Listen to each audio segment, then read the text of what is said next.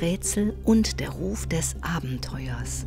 In seinem neuesten Werk begibt sich Comicjournalist Nicola Wild auf die Spuren der uralten persischen Religion des Zoroastrismus.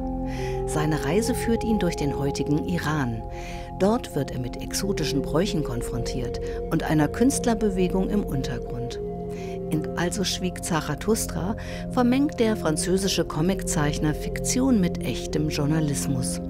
Das Ergebnis ist ein neuer Blickwinkel auf das einstige Zentrum des persischen Imperiums. Fiktiver Reisejournalismus, greifbar, spürbar und authentisch, auf der Grundlage der echten Reiseerlebnisse von Nicola Wild.